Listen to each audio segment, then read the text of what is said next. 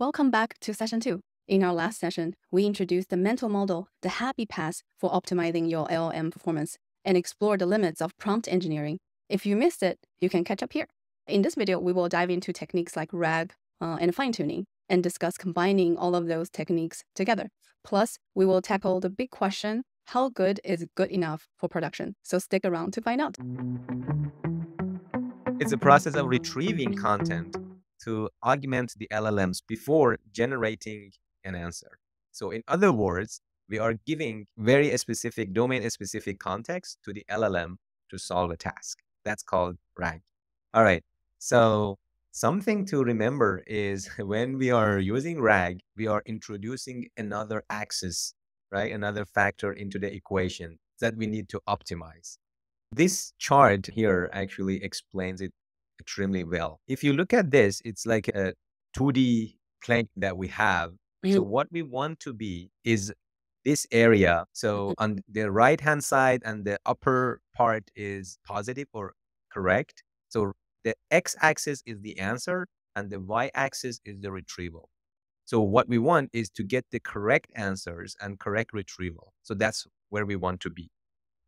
So the top left is where we have the correct retrieval, but the mm-hmm. answer that LLM generates is wrong, which is this area here.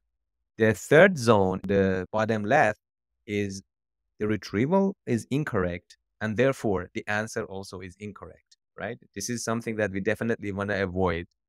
And the bottom right is when the retrieval is actually correct, so we have the correct context, but the LLM is unable to generate the correct answer. Okay. Mm-hmm. So for each one of these areas, then we have to fine tune or optimize something. So mm-hmm. when we mm-hmm. are on the top right, everything is perfect, right? Nothing to worry about. It's where we want to be. Top left, the, the retrieval is okay, is working more or less. It's but it's not complete. So there are different approaches how mm-hmm. to optimize that. In that case, we can use, you know, we can fine tune chunking and all that, right? Because the retrieval is working, but not 100%. So the problem is coming from the chunking mm-hmm. or maybe the embedding. The bottom left is when the retrieval is completely wrong. And if the retrieval is wrong, the LLM will anyway produce the wrong answer. So here, then we have to work on the search because why the retrieval is wrong. We have mm-hmm. to optimize that. Is it because of the search algorithm, right? So we have to tune our search. And the bottom right is when the retrieval is correct, but because of the behavior, the prompt maybe, or because of the model parameters, the LLM is not able to generate the correct answer. So we have to tune these two things. Maybe the prompt is bad, so LLM doesn't figure it out. Or maybe we need to do a fine tune something like that. So what is really fine tuning? Fine tuning is the process of training an LLM on a very small domain specific data set to optimize the behavior of the LLM for a particular task. That is called fine tuning. And by training, I don't mean that we train from scratch, meaning that we just teach LLM an extra skill using that very small domain specific data set. And there are two main reasons that we may want to go with fine tuning. One is to improve the accuracy, of course. That's the main reason that we want to go mm. with fine tuning because other approaches, for instance, didn't work. And the second reason is to improve the model efficiency. Because when you fine mm-hmm. tune a model, you basically consume a lot, like less tokens. And the reason for that is when you don't fine tune, you basically have to explain everything in the prompt to make sure that the LLM will work properly. But when you teach that skill, then you don't need all of those instructions as part of the prompt. So basically, you are consuming less tokens.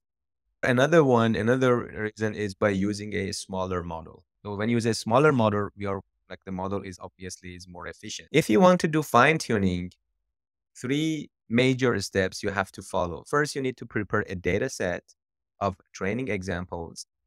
The second step is then you would go and train the model, and there are multiple frameworks for doing that. And the third is the evaluation. You have to evaluate that, okay, on a held out data set, that what is the accuracy of this fine-tuned model on this uh, specific held out data set. Two things to notice and to remember when you are preparing data is always start with a very small data set, but focus on the quality of the data set because the quality of the data set is extremely crucial. Okay. And the second point Mhm. is you always want to make sure that the examples that you have in your data set are representative of what the model will see in the real world because it needs to learn and it doesn't learn by just showing some imaginary examples where it's not going to see it in in production Yeah, I'm sure there are ways to automate evaluation There- pipeline.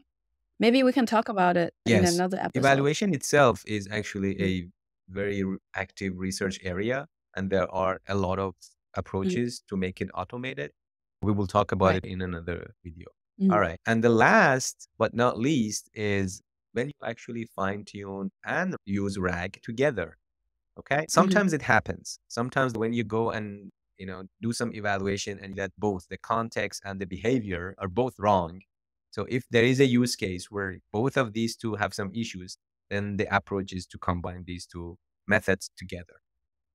The benefits Mhm. are by doing fine tuning, you minimizing the number of tokens, you can teach a very complex behavior to the LLM. That's another benefit of this fine tuning and RAG. And if you use RAG as well, Mhm. then you are injecting extra context into the prompt, which is going to eventually improve the accuracy and performance of the model. I have a question. If you have extra context, sometimes people put it in the prompt, sometimes people take that out and put it as a RAG system. For instance, the few shot step. If people starting to want to feed in a few examples, you can do either way. You can go with a RAG, you can go with a potential prompt engineer way. Okay. So, do you have any suggestions which one is better than other? So what I would do is that I will just go with a few shot, meaning adding a few examples in the prompt, right? Um, Okay. and then what the next step would be instead of adding the examples like fixed examples, then I try to dynamically just bring some examples, right? So which is RAG. So we can even bring the examples dynamically and feed them into the prompt. But what I would do, I always go with just a few examples in the prompt. And if that solves the problem, then that's it. What does dynamically include some few shot uh, examples mean? Meaning that depending on the user question, you don't need to always include a list of fixed examples LLM can learn from and Mm. based on that answer the question. You could have hundreds of examples. So you don't want to include all of them in the prompt as well. So depending on the user question, you Mm. may find some relevant examples and then only include them in the prompt. So this is when you Okay. dynamically do that. But if you always include, regardless of what question the user is asking, you always include these five examples, then it's a few shot learning, which is fixed. But if you change these examples dynamically, depending on the question, that's dynamic few shot. Right. And the fine line is how large your context window is going to go. Because if you're including a lot of examples in your prompt, right? The larger the That's what context. you don't want to do that, right? It is, uh, you don't want to include hundreds Right. of examples, things like that, right? Yeah. To clarify, it may not be a RAG uh, problem. It could be after prompt engineering, you should just go to fine tuning, right? Because these examples indicate not extra knowledge, but actually model behavior. Then you should really bake that into the model instead of using RAG.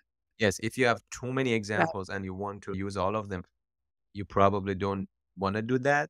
So a better approach potentially Right. could be just use those examples and fine tune the model. All right. The million dollar question. so now, yes. So the question is how much accuracy is actually good enough for production? And the answer is it depends, right? We have to look at each use case. But a general rule of thumb is you always look from two perspectives, right? From a business point of view or perspective and from a technical point of view. From business perspective, you need to do some evaluation and assess the cost of LLM failures versus the savings or gains from implementing a successful approach.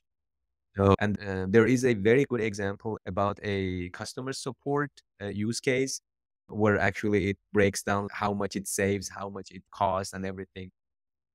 But essentially, what you want to do just to evaluate the cost, right? It's, is it worth it or not? What if the, the failures are so dramatic, right? So critical that you can't really like make up for it? That's something that you have to reconsider. Yeah. So basically, by putting a price point on your uh, LLM failure cases and escalation cases, other options that what can happen using this LLM solution, then you can back engineer a level of accuracy that you can actually tolerate. So it's like a risk based uh, assessment of how good you need to be in order to right make whole sense of the solution. Said that's exactly solution. right. So you have to do some risk assessment. You know, if you want to really right. do it from the business standpoint, right? The second perspective is from a technical point of view.